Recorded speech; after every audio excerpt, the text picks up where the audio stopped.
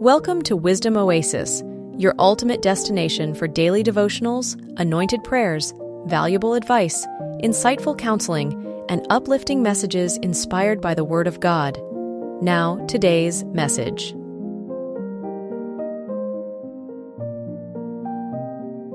Today's devotion is from Matthew 16, verses 24 to 27. Then Jesus said to his disciples, If anyone desires to come after me, let him deny himself, and take up his cross, and follow me. For whoever desires to save his life will lose it, but whoever loses his life for my sake will find it. For what profit is it to a man if he gains the whole world, and loses his own soul? Or what will a man give in exchange for his soul? For the Son of Man will come in the glory of his Father with his angels, and then he will reward each according to his works.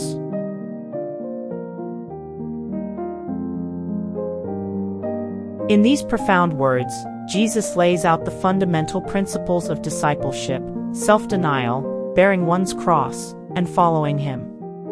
This call to discipleship is not merely about adherence to rules, it is a transformative journey that reshapes our priorities, desires, and entire lives. To deny oneself means to relinquish self-centeredness and the relentless pursuit of personal gain. It challenges the very heart of human nature, pushing us to forego our instinctual desires for control and comfort. Taking up one's cross is equally demanding, symbolizing a willingness to endure suffering and hardship for the sake of Christ. It signifies a commitment that goes beyond mere words, a lived expression of faith even in trials. As we reflect on Jesus' words, we are reminded that following him might mean losing some aspects of our earthly life, but in exchange, we gain eternal life. This exchange is not one of equal measure. What we gain far outweighs what we lose.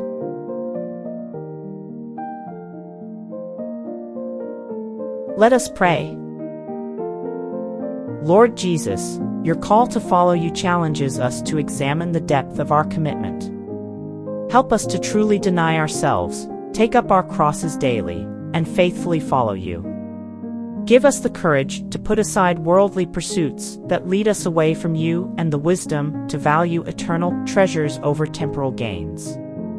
Teach us to find our life in losing it for your sake, trusting in the promise of eternal life with you. As we await your return, let our lives reflect your love and sacrifice. In your holy name, we pray. Amen.